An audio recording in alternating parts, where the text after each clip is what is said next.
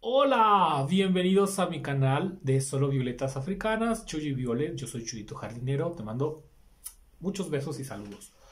Hoy vamos a hablar de las cosas que tenemos que tener en cuenta antes de comprar una violeta africana si es que somos principiantes.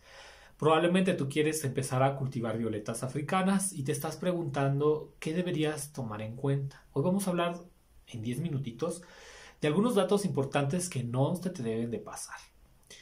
El primer dato es entender que las violetas son plantas muy delicadas, son plantas muy exigentes. Una violeta africana requiere muchos cuidados. Normalmente las personas que cultivamos violetas africanas tenemos tiempo suficiente para cultivarlas. Mi mayor consejo y mi mayor tip es que empieces a hacer una casa para poder tener tus violetas africanas. Normalmente la casa pues va a ser como una mesa en algún lugar que tú tengas disponible, que puede ser, por ejemplo, un cuarto o en alguna ventana donde haya mucha iluminación. Y esta va a ser la casa de nuestras violetas africanas. Si quieres cultivar violetas africanas al exterior de tu jardín, tienes que saber que es necesario que tengas un mini invernadero.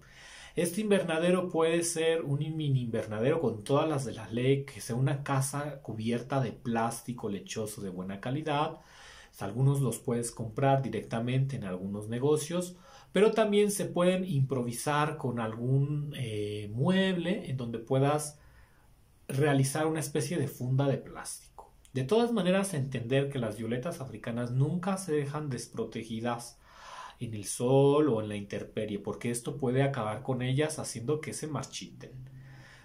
La casa en exterior es mucho más compleja que la casa en interior. De todos modos, una violeta africana es más fácil que viva contenta dentro de tu casa, donde la temperatura siempre es agradable, donde no hay el peligro de que lleguen insectos y puedan acabar con ellas. Esto es muy importante.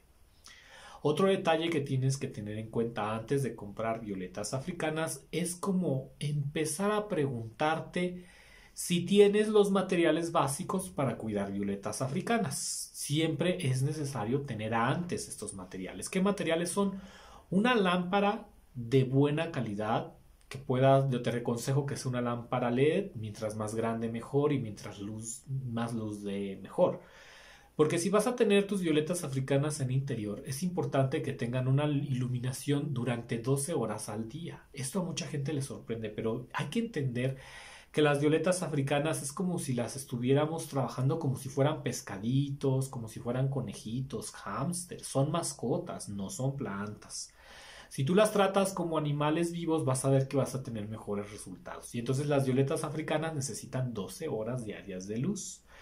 Esto, esto es, es como muy raro, siempre me preguntan, pero, o sea, ¿cómo 12 horas de luz? Bueno, cuando sean las 7 de la mañana, tú vas a prender esta luz aunque sea de día.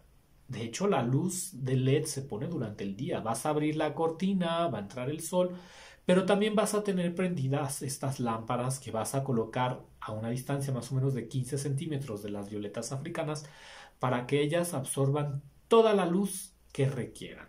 Y las vas a dejar ahí durante 12 horas. 7, 8, 9, 10, 11, 12, 1 de la tarde, 2, 3, 4, 5 y 6. La luz tú la vas a apagar a las 6 de la tarde si es que la prendiste a las 7 y eso va a hacer que la, que la violeta africana tenga esa nutrición. Si tú no puedes darle esta luz porque no tengas tiempo o porque no quieras, mejor no tengas violetas porque no se te van a dar bonitas. Las violetas africanas necesitan esta luz LED. No les basta con la luz de la ventana. A veces creemos que la luz de la ventana es suficiente y no, la violeta no va a florecer, las hojas se pueden poner amarillas, las hojas no van a estar tan crocantes, verdes y bonitas. Entonces, que lo tengas en cuenta. Otro detalle que tienes que saber antes de comprar una violeta africana es que estas plantas necesitan cuidarse mucho el pH del riego. El pH de riego se cuida con un medidor de pH y también con ácido cítrico que tendrás que conseguir en alguna farmacia o tienda en donde vendan esencias o cremas. Generalmente son tiendas donde venden aceites o materiales para elaborar jabones. Se llama ácido cítrico y te va a costar como 50 pesitos un cuarto, más o menos. Ese ácido cítrico nos va a servir para que el pH de la violeta africana se establezca más o menos en 6.6 y también tendrás que comprar un medidor de pH. Sí, queridos amigos y amigas, las violetas africanas son muy costosas de mantener. Si desde aquí tú estás viendo que a lo mejor no es la planta que tú quieras tener en casa, hay muchas otras opciones más fáciles, porque créeme, las violetas africanas son complicadas y si tú no les das este pH, pues no te va a venir bien. Te aconsejo comprar estos medidores de pH a través de AliExpress, que es una página que te trae medidores de pH desde China en donde podrás encontrar los mejores precios. Otro detalle que tienes que saber antes de comprar violetas africanas es el asunto de que a ellas les gusta el agua de muy buena calidad, les gusta el agua de garrafón o el agua de la lluvia. No les gusta el agua de la llave. Muchas veces el agua de la llave contiene demasiado cloro y puede hacer que se marchiten porque el agua de cloro entra y hace como pequeñas rasgaduras en el tronco de la violeta en donde pueden entrar algunos parásitos o bichos que hacen que la violeta se pudra. Por eso es tan importante no regar con agua que contenga cloro. Si ya no tienes otra agua porque no hay forma de conseguirla, este, puedes utilizar un anticloro, pero lo mejor sería comprar un filtro que te ayude. Puede ser un filtro de piedra o un filtro antiguo. Pero de nuevo, las violetas africanas son costosas de mantener. Esto es como las orquídeas. Y a veces las orquídeas son más sencillas de mantener que algunas violetas africanas. Otro detalle es, tiene que ver con la temperatura. A veces es necesario comprar un calentador que haga que las violetas africanas se mantengan calientitas en la época más fría de invierno.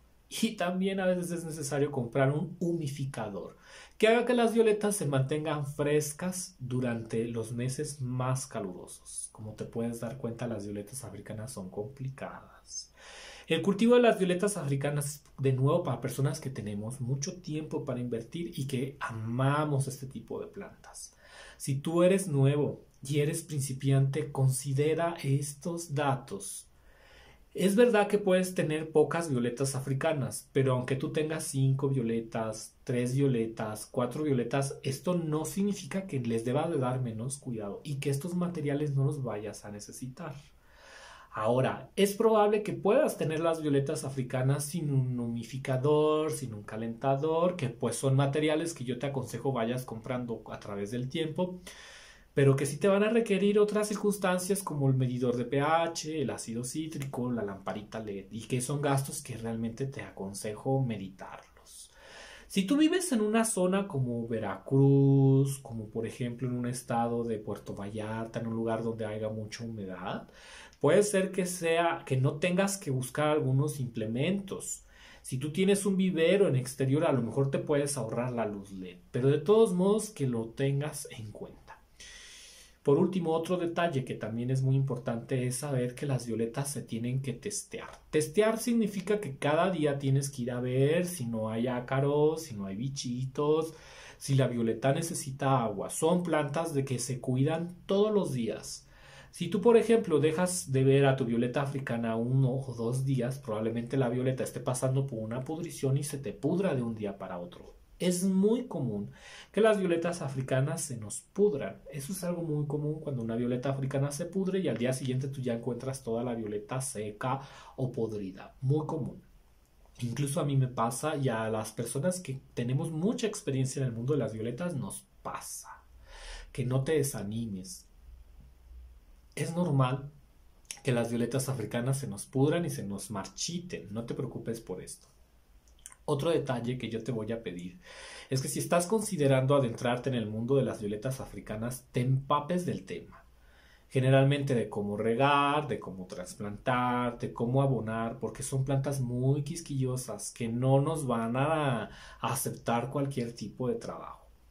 Te comento que también, además de violetas africanas, podemos acceder a gloxinias, epixias, achímenes y streptocarpus que son muy parecidas a las violetas africanas, son familiares y que también podemos cultivar en nuestro hogar. Además nos van a dar esa sensación de tener un bosque. No solo te limites con las violetas africanas. Y si ya estás decidido a comprar violetas africanas, por favor no compres muchas. yo te aconsejo que solo compres 5 violetas africanas y que te esperes durante un año o al menos 6 meses para ver cómo se te está dando esto de cultivar violetas africanas. Porque a veces compramos 10 violetas, 20 violetas y se nos pueden marchitar todas de golpe. Que sepas que cuando cultivamos violetas africanas y tenemos muchas, se pueden marchitar todas las violetas de golpe y esto puede llegar a ser muy doloroso. Entonces, siempre que seas principiante con cualquier planta, sin importar si es violeta o no, no compres muchas unidades hasta entender qué cuidados necesita la planta para crecer feliz en nuestro hogar. Yo soy Chuyito Jardinero, te mando muchos besos y saludos y nos vemos. Hasta la próxima.